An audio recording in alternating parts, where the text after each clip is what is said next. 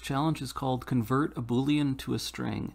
Implement a function which converts the given Boolean value into its string representation. Note only valid inputs will be given.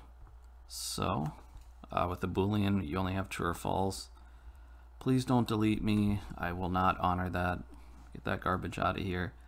So, we've mentioned in previous videos that objects all have a method called toString, and I think that will be meaningful here and work for us. So I'll just simply say return b toString. That sort sort of converts the object to a string representation. Sometimes it's useful, like I think it will be here. Other times it's less useful. So we'll try this.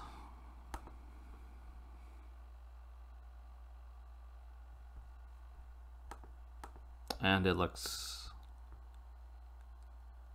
authors a unauthorized. Uh oh. I'm logged in. What what happened here? When to set this? We'll try that again. I wonder if this please don't delete me was actually come on. Nonsense. B to string semicolon test. Okay, that's better. Must have had a hiccup on the server side there. Test passed. Yeah. So you can see they were checking for capital true, capital false. So yeah, not much else to say about that one. You know about booleans.